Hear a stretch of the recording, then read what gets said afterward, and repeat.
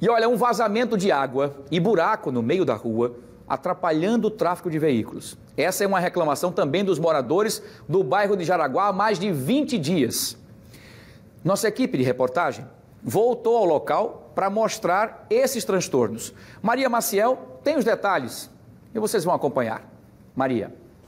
Os moradores da rua Zeferino Rodrigues, no bairro do Jaraguá, estão longe de ter sossego. Isso por conta desse vazamento no meio da rua, que tem trazido inúmeros transtornos. Se não bastasse essa água escorrendo aqui o dia todo, 24 horas por dia, ainda tem esse buraco que se formou bem no meio da pista. O pessoal aqui que passa por aqui, os motoristas, tem que acabar desviando aqui para não cair nesse buraco, que já já está sem todo aí o, o pedregulho, né? Toda essa parte aí asfáltica e por isso tem dificuldades para passar. Agora, por aqui, os moradores dizem que esse vazamento já está há mais de 20 dias. A nossa reportagem já esteve nesse mesmo local na semana passada e até agora nada foi resolvido. Agora, o que eles pedem e fazem esse apelo é para que seja resolvido o problema do vazamento e também desse buraco que atrapalha aqui o trânsito atrapalha a vida também dos motoristas, não só dos moradores. Então fica esse apelo agora para a BRK Ambiental, que é a nova gestora aqui dessa questão de vazamento, saneamento de Maceió.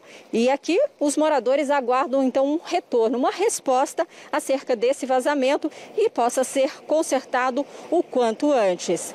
Do Jaraguá, Maria Maciel. Muito obrigado, Maria. Olha, a nossa equipe já foi aí, acho que umas duas, três vezes, se não me falha a memória, não é? Para trazer essas informações, só que o buraco foi aumentando, aumentando. Colocaram até um garrafão aqui, ó. Já que é água boa, né? De repente vai que a BRK disse, opa, vamos ali invasar a água boa que está saindo. Claro que você não pode usar. A água é boa, mas como ela tem contato com o solo, com a, com, com a rua e tal, logicamente que ela não passa a ser mais potável, né? Mas é água boa tratada, que é cara para ser tratada a água, jogada literalmente ralo afora, rua afora, né? Um vazamento grande com um buraco imenso, com água boa indo embora. Nossa produção entrou em contato com a BRK Ambiental, que nos informou que ainda não há registro de ocorrência no sistema de atendimento da companhia. Informou também que, a partir da formalização da denúncia através do canal de atendimento, a empresa enviará uma equipe até o local para analisar a situação da rua.